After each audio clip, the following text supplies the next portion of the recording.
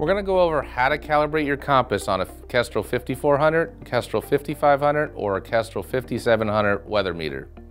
You will need to calibrate your compass whenever you change the battery or if you update the firmware. It is also good practice to calibrate your compass if you change locations or every two to three weeks. So if you see star, star, star on the direction screen, you need to recalibrate your compass.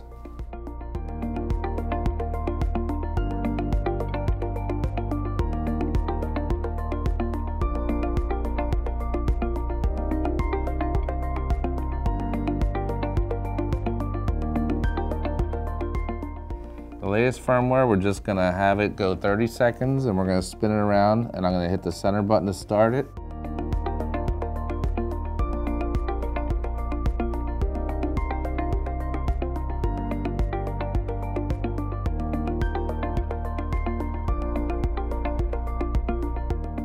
If you are having trouble calibrating the compass and getting cal failed over and over again, one thing would be to try in a different location. If that's not working, we want to do a soft reset on the Kestrel. So we're gonna pop the battery out,